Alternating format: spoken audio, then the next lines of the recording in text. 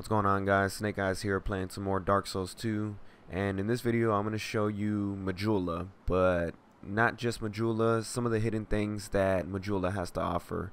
Um, these are some things that you may have gotten on your first go around or may not have gotten. Some things that you might have already unlocked or might not have unlocked. But um, I just started off at the entrance of things betwixt and if you come down to this uh, grassy little patch in between these two rocks you can see a little platform that you can jump off and um, from there you can just jump on this trail and that's the way back. But don't forget to turn around and pick up yourself a morning star and a cleric's sacred uh, sacred chime. Um, the cleric's sacred chime is uh, good for people who want to cast miracles and uh, who are looking to do that pretty early on. Uh, that's the stuff that you need to cast it. And then right here you're gonna pick up a pair of binoculars which actually I learned the binoculars actually have a pretty good um, use for them now. Back then they used to be just for you know whatever um, whatever you wanted to get a closer look at. But now I'm told that the binoculars, if you carry them on your offhand from um, from your sorcery cast, your um, your catalyst, you can actually use it to um, to get a first person aim on where you want to cast your spells. So just if you ever have anything focused on the center of your screen and you cast a spell, it'll go right there. So it's kind of a nice little way to, I guess, get yourself a first person perspective on um, on whenever you want to cast those spells. But make sure you cast them on the opposite hand that you have your catalyst on. And uh, all you got to do is just keep going straight, keep walking straight. Uh, stick to these walls because, uh, you know, you, you don't want to run the chance of uh, falling off by accident. And uh, another thing that you guys may or may not know is um, I'm just gonna go and briefly talk about these NPCs and like I said you know you guys don't really have to watch this. You can skip forward a little bit if you want. This is Emerald Herald. Um, she's gonna be the main person that helps you as far as leveling up and leveling up your Estus flask and all that. But she actually has an item that's pretty useful uh, I'm probably going to kill her later on so on a different character so I can show exactly what kind of item it is and what it does but it's a feather and um, from what I'm told the special effects on it are actually pretty good so that's something that uh, you may want to think. I wouldn't kill her on my first playthrough though. Obviously when you've played through enough um, you know you guys can make that decision for yourselves.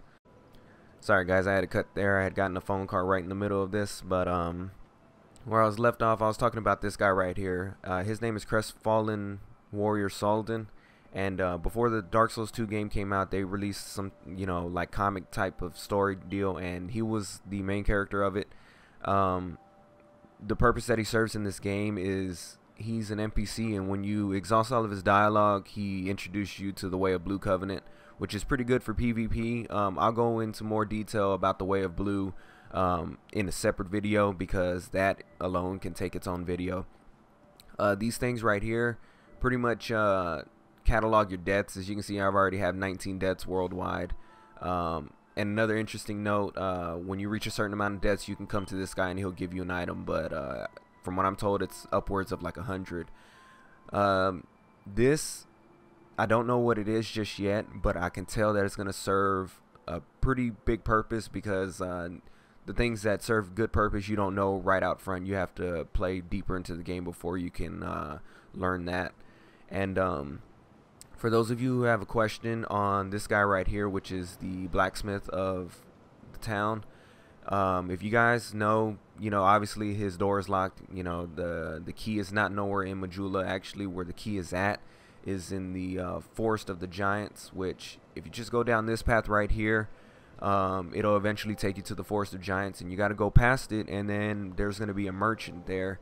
Uh, look at the keys that he has for sale, and you'll find the key to unlock that. So that way he can start upgrading your armor and all that. Uh, the next person that I'm going to bring you to is uh, Maughlin. And Maughlin is actually a pretty cool guy.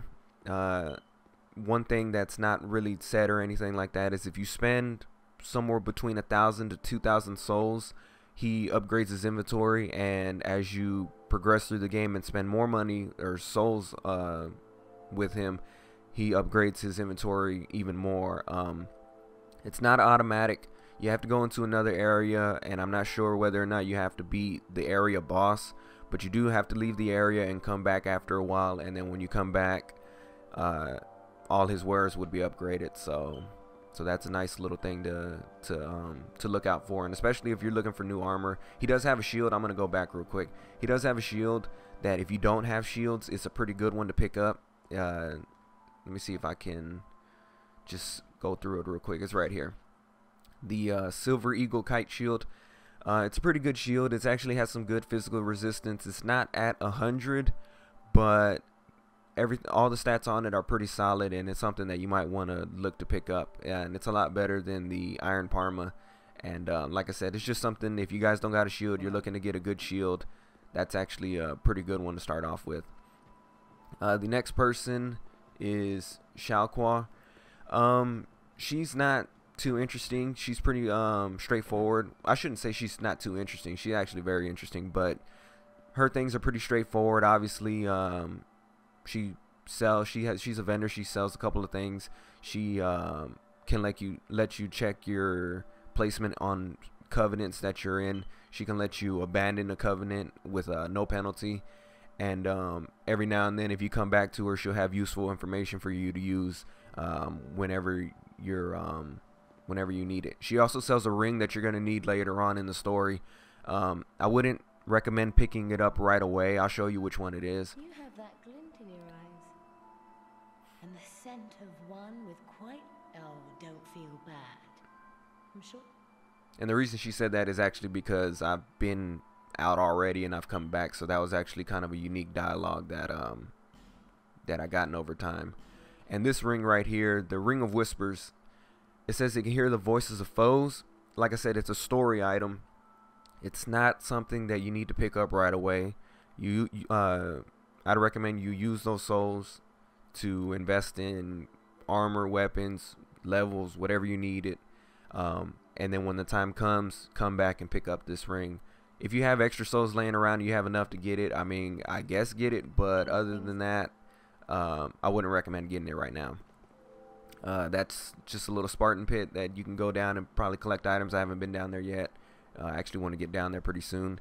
Um, this I didn't know and I left it. I still have one Estus flask as you can see.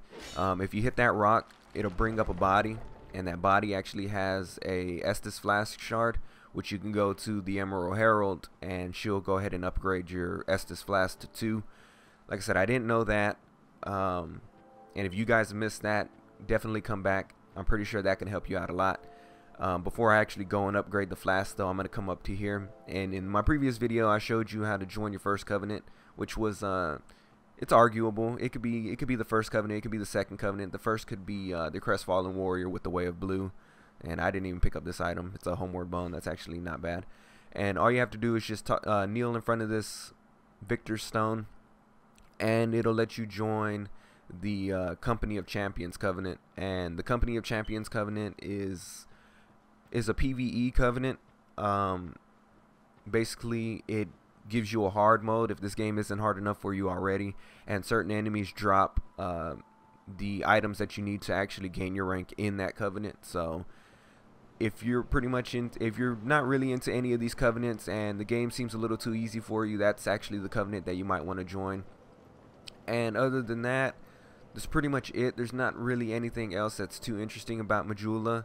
Um, well, I shouldn't say not too interesting. Uh, Majula is very interesting, but those are all the hidden things that I've seen so far. If you have um, if you have other things that I might have missed, let me know because I'm all into exploring this game and figuring out more things about it.